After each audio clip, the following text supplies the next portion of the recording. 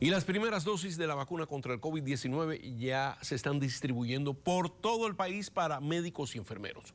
Ahora solo es cuestión de tiempo antes de que el público en general, o sea, usted y yo y todos nosotros, también tengamos acceso a estas vacunas. Y hoy hay más buenas noticias en torno a la segunda vacuna, que al parecer ya está en camino. Randy Serrano nos tiene más detalles a continuación. A menos de 24 horas de que la primera vacuna contra el COVID-19 fuera suministrada, la segunda está un paso más cerca de ser aprobada. En un análisis revelado este martes, la FDA aseguró que el antídoto de la farmacéutica moderna es seguro y tiene una efectividad de 94% contra el virus. Es un acontecimiento importante. Eh, mientras más vacunas podamos tener aprobadas en el, en el mercado uh, para esta etapa, es, va a ayudar a, a que haya mucho más acceso a la vacuna.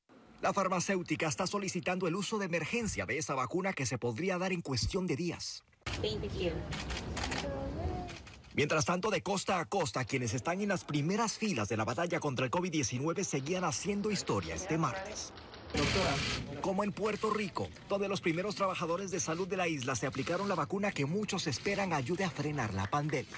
La persona que le, le apasiona esta profesión eh, sigue adelante porque nosotros vamos por el bien común de, de, de nuestros pacientes. Y quienes pudieran estar entre los próximos en recibir la vacuna, Joe Biden y Kamala Harris. For security reasons, I really feel strongly. Hablando con la cadena ABC, el doctor Anthony Fauci dijo que se trataba de un tema de seguridad para quienes están a punto de convertirse en presidente y vicepresidenta de Estados Unidos y que recomendaba que eso pasara lo más pronto posible. Las más recientes cifras parecen indicar que la confianza en el país sobre la vacuna va aumentando cada vez más.